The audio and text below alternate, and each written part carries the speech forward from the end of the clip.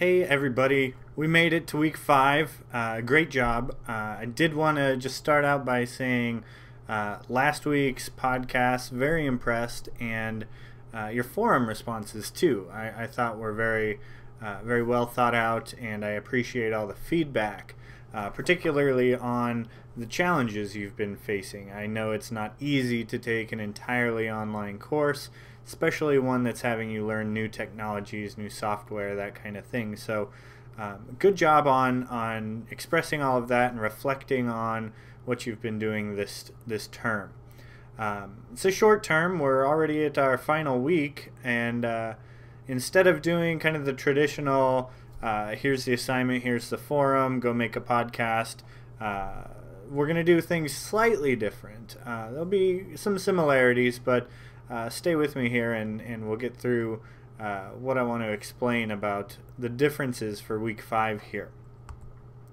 So, in terms of the challenges you were uh, posting and discussing on our forum this week, um, I want to address some of those. I'm going to try to address each of you individually and uh, provide some feedback and uh, things like that on the forum itself. But uh, in case I don't get to that right away, uh, here are just some of my thoughts about some of the challenges you've been uh, discussing. So learning new software, obviously that that's always a challenge, uh, and I think you've all done very well. Whether you know you had to learn Movie Maker because you didn't have GarageBand as an option, I thought all of you did a very uh, good job, really you know hitting the ground running and, and getting into Movie Maker to uh, to fit your needs. So good job on that. But um, I do recognize that it can be a challenge, and hopefully uh, the tutorials and the other the links to resources that, that I did post, hopefully those were of some of some use. Working within the constraints of the software you're using was also another challenge many of you mentioned, and uh, you know that's certainly something we're all going to face when we're using um, any kind of software. And so, for example, GarageBand, one of the biggest uh, constraints uh, you can't use video and still images in the same podcast. Uh, there are a number of programs out there that allow you to do that very thing, and it doesn't seem like it should be a big deal. Um, and it's kind of unclear why GarageBand doesn't let us do that, but that's just an example. And other, um, you know, sound issues or video issues based on what the software can or can't do um, certainly can be an issue. So, um, to all of you who who are running into that that challenge with the software you're using, um, it, it does you know make us adapt and, and change you know the way we look at an assignment or a project we're working on. Uh, we might bring in other software titles, other programs, online services to assist. Um, but workarounds, while you know they can be frustrating and, and lengthen the entire process, um, sometimes are our only option, and, and it, it could make the overall project uh, a better product anyway. Juggling multiple programs to create a product. So, you know, when we have to go outside the standard uh, software that we're using and we have to use an online service or another program because it has better sound or another program because it allows us to use photos and video and then combining all of these different pieces into one product can certainly add time and effort uh, to a project. And I appreciate all the effort you have all been putting in uh, to your projects especially when you you do have to do this type of thing. So um, you know with regard to, to juggling these multiple programs um, especially when we're working with free software or online services uh, you're going to notice this quite a bit. Um, you're not going to have the full, fully fledged uh, software to use to you know get your desired result all the time, and so um, that's one thing. Anytime you're using the web or um, any kind of free software, uh, you'll probably run into this, and, and I really like how a lot of you have stepped up and um, are, are able to and and really doing a good job of using multiple programs. Tweaking sound and video and images. So uh, this piece, I think, really comes when you do get the hang of the software you're using, whether you're using one program or a number of programs to create your product.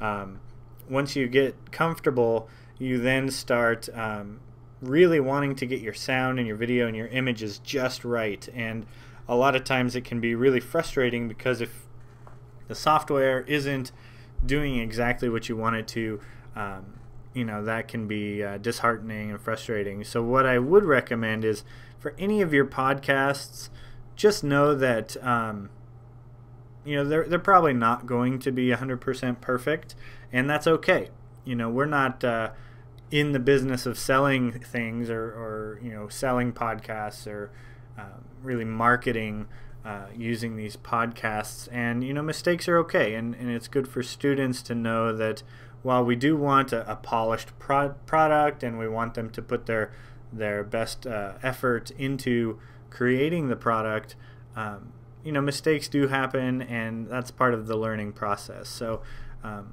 I appreciate all the hard work that all of you are putting in, and I think your podcasts have been uh, very high quality.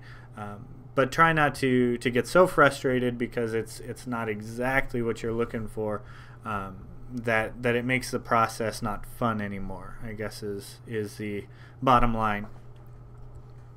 Saving, sharing, and publishing. This piece is is another one of those components that once you get comfortable with the the process, this piece can be uh, kind of challenging as well because you have to work with the constraints of YouTube or if you're publishing to iTunes, then you have another process that you have to learn.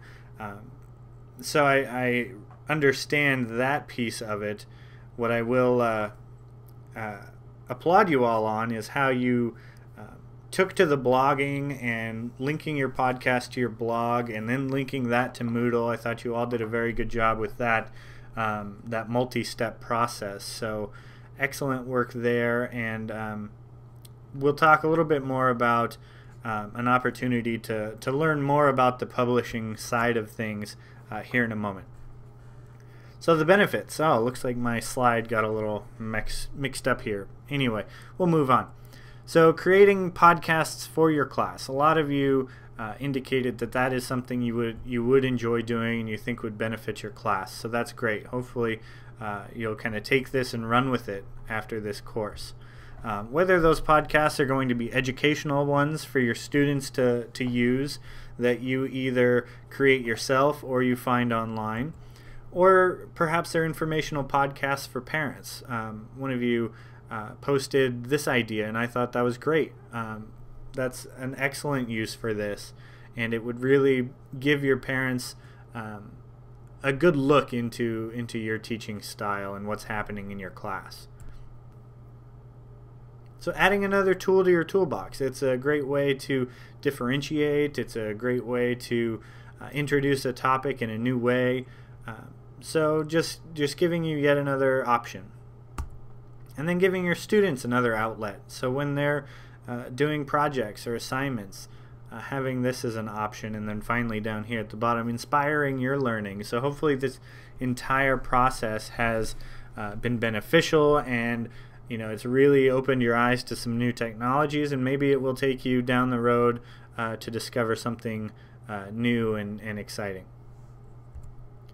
So this week, what we're going to do, like I said, a little bit different than, than our normal weeks. Uh, so let's kind of go over what, what I'd like us to do uh, for our final week here. So our assignment is going to be a Yodio. And I'll explain what a Yodio is here in a minute. I think they're pretty fun, and I think it's different, and, and it should uh, give us a, a fun way to close our, our class here. Our forum we're going to reflect on one thing that you that you will implement in your classroom. And we'll talk about this here in, in a minute.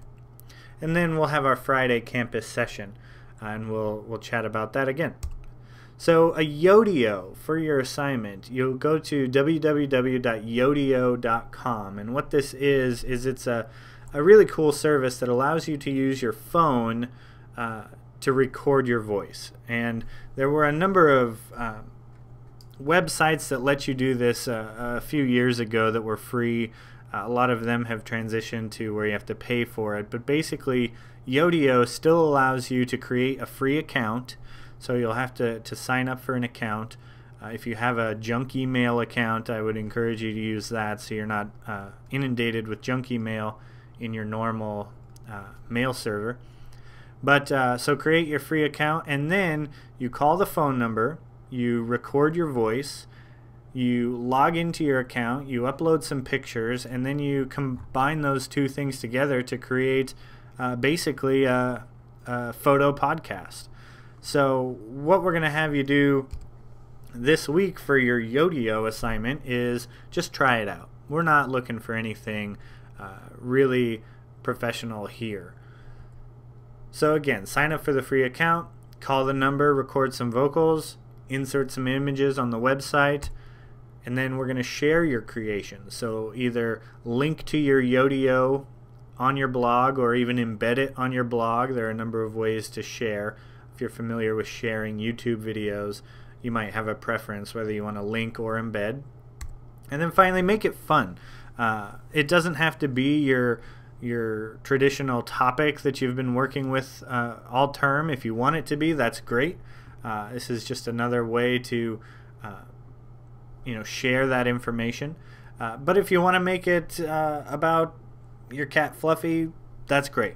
So you know you have uh, free reign on the topic that you that you use for this assignment. Our forum. Normally in this class I have people write up a lesson plan or a series of lessons that incorporate podcasting in a number of different ways. I've had people uh, incorporate podcasting in 10 different ways. Uh, and, you know, that has worked in the past, but I want to kind of refocus our attention here um, for, for one particular reason. When we're learning about technology, we can be overwhelmed with the topics we're learning about. So we're learning different hardware, different software, different online services. And, you know, it, it becomes too much and when when you try to incorporate every little thing that we learn in a course into your teaching um, that can be pretty overwhelming and you might not get as much out of that as uh, I would want as an instructor so instead of writing an entire unit or, or even a lesson plan what I want you to do is focus on one thing. So, of everything we've done in this class, from finding podcasts online that you could use with your students, or you could use yourself as a as a professional development resource, uh, or creating your own podcasts, or having your students create podcasts, whatever it might be, what is the one thing that you think you will learn, you will use in your classroom? Um, so instead of you know writing out every use imaginable. Just focus on the one that you think fits your teaching the best. Finally, our Friday campus session is going to be from 4.30 to 7.30 again in ITC 001, same lab we were in uh, week one. I'm going to spend some time talking about iTunes publishing for those of you who uh, want to learn more about that and want to explore that a little bit. Um, if if no one at the session is really interested, we'll, we'll totally skip it. But I can work with uh, those folks who are interested, uh, even on a one-on-one basis. We'll work with the iPods and the iPads. We have quite a few of those, and uh, I want to show you the process that uh, you can use to access podcasts from those mobile devices, but also upload your own podcasts to those devices. And um, finally, let me know if you can or can't make it to the Friday meeting, just so I can get a, a head count, so I can know how many iPads to bring, that kind of thing. Um, so that's week five. Check for the assignment forum and the forum discussion, uh, along with this, um, obviously this video, but then uh, I have a just for fun video as well. So let me know if you have any questions or, or concerns. Let me know about Friday and um, you know have a great week and and if I don't see you on Friday um, have a great rest of the term and good luck with the rest of your studies.